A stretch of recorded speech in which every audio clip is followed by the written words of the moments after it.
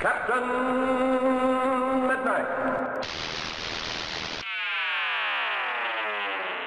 This video is brought to you by Adam and Eve. Use the link in the description and code MIDNIGHT to get 50% off one item plus free shipping in the US and Canada. A little over a month ago, I released a video about sitcoms and aspect ratios, where I included a clip from the Always Sunny podcast. In the clip, co creator Charlie Day talks about how he was really reluctant to move the show to HD and the 16 by 9 aspect ratio, and move away from 4 3 just because he thought it suited the show so well. People really responded to that video, and I got a lot of comments about It's Always Sunny which definitely got me thinking about it, and specifically how well it leans into the strengths of its medium in a way that so many TV shows in the streaming era never really have a chance to. So that's what I really wanted to go over this week. Why I think It's Always Sunny in Philadelphia represents so much of what television can do and be at its best. We're going to Mars. Uh huh. Have a good time. If you're watching this video, you may know the basic gist of the show's origins. A group of friends filmed some comedic short films, inspired by the cringe comedy of the original UK Office and Larry David's Curb Your Enthusiasm. Those shorts were later expanded and rewritten, turned into a very small scale and cheap looking television pilot about a group of selfish, unemployed actors called It's Always Sunny on TV. It attracted the attention of Fox's cable channel, FX, which had just made a major push into original programming with dramas like The Shield and Nip Tuck. FX loved the pilot and found the extremely low budget especially appealing, but they didn't want it to be a show about the industry or LA. So creators Rob McElhenney, Charlie Day, and Glenn Howerton agreed to relocate the show to Philly, McElhenney's hometown. Considering how little experience any of them had at running the show, which is basically none, that's a pretty incredible origin story for what is now the longest running live action sitcom. But I think it's what you see throughout those early seasons where it gets really interesting. You get a chance to watch the show locate the strengths of its actors and characters, to take the pretty basic and low budget framework of that first episode and mold it into something much more unique. This isn't to say that season 1 is bad, it's far from the show at its best, but it's still filled with great moments, even if many of the episodes as a whole don't really hang together that well. For the most part, the characters just aren't fully formed yet. You see this in all of them, but I think the most obvious example is probably Sweet Dee. Dee was easily the most underwritten character early on, functioning as a kind of generic foil to the guys and often the voice of reason. And if this small batch of episodes were all that existed, that would forever remain what that character was defined by. Thankfully, that didn't happen. The show discovered just how amazing Kaitlin Olson is at comedy, especially physical comedy, and brought out the best possible version of that character. It's really that spontaneity and that sense of discovery that can make seasons of television feel so exciting to me. You get to see shows responding to what's working and what isn't week by week and It's Always Sunny exemplifies that really well. The show that it became has a lot in common with season 1. Obviously, it's about a group of selfish idiots who own a bar. But so much of what makes Sunny Sunny, what gives it that specific texture of its own, was found over time. It wasn't some master plan executed with precision. It grew out of conversations between talented writers and performers, sometimes literally on the spot as they were shooting. A major character detail, like Charlie being illiterate, was decided while filming a scene in Season 2's The Gang Goes Jihad. It was just Charlie Day having a strong feeling that Charlie Kelly not being able to read the note was the best thing for the scene, and having to talk the other showrunners into it.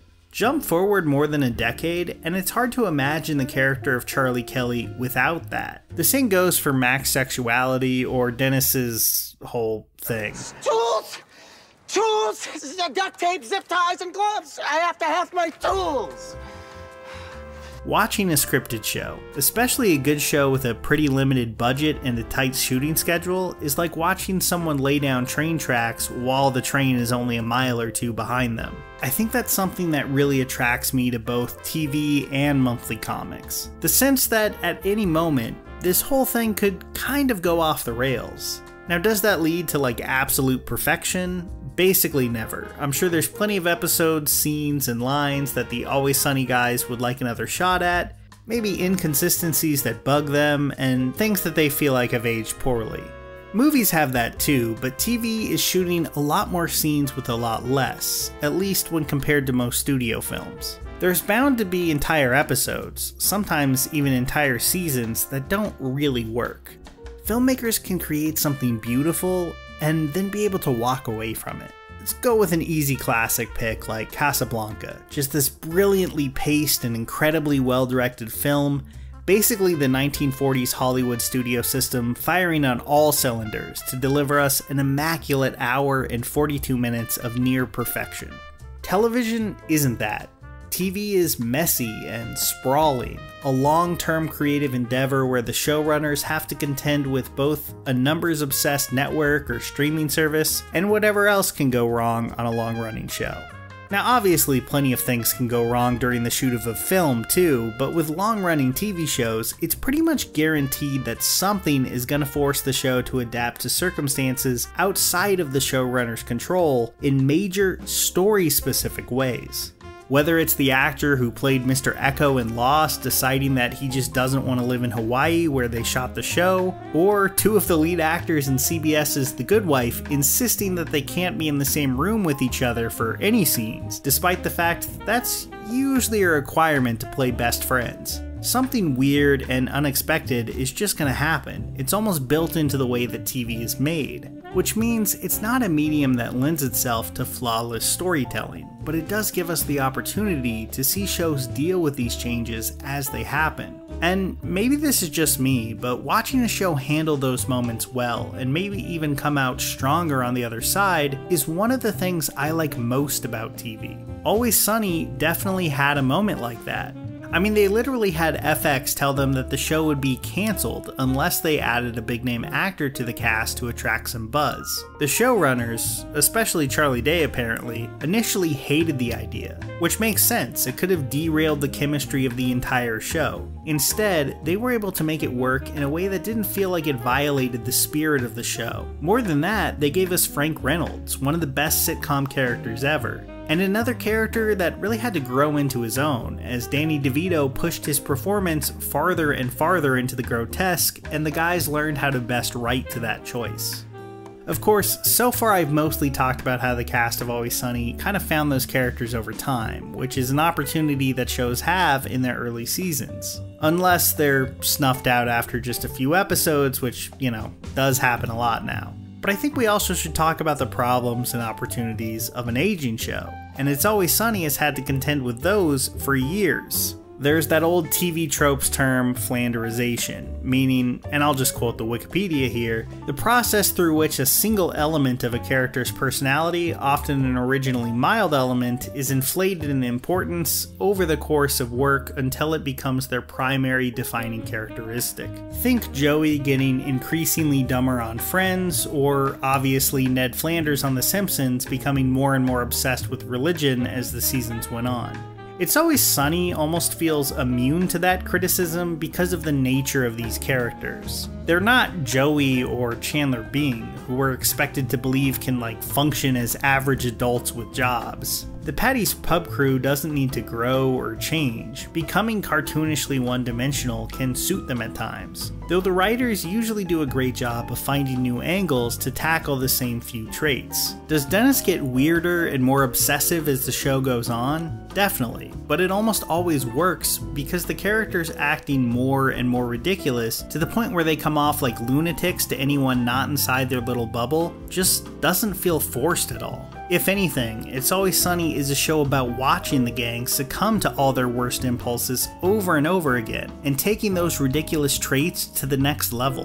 This is all related to another common issue with older sitcoms the ages of the actors changing over time. In a show like The Office, the lives of Jim and Pam can kind of feel artificially stagnant, with the show often bending over backwards to maintain the same basic setup, while also trying to have their characters progress and change. If New Girl was still on now, and all those characters still shared an apartment doing the same sitcom hijinks in their mid to late 40s, it would probably come off as a little sad. It's Always Sunny just does not have that problem. The fact that they all keep behaving this way as they get older and older every season fits perfectly with the tone of the show and its characters. Like, if these characters are still alive in 10 years, it's hard to picture them being anywhere else but Paddy's, hanging out with the only other people who can stand to be around them. It's pretty grim, and it's also the perfect recipe for an extremely long running series. Everything about It's Always Sunny, from its deep bench of supporting characters, its constant experimentation with different one off episode concepts, to the fact that most of the show can basically be boiled down to a few people talking in a dingy bar set, is just extremely television. It's imperfect, it may take a little while to hit its stride, but when it clicks, and when the actors, the writers, and the audience know these characters like they're old friends, but they still somehow manage to surprise us, I think there's really nothing else like it. Here's a special tip for the fellas and girls who have not already joined Captain Midnight's new 1940 Flight Patrol. You'd better hurry up and join at once because there's a big adventure ahead. The thing to do now is to get started because we're going to have not only barrels of fun, but loads of free gifts and prizes too.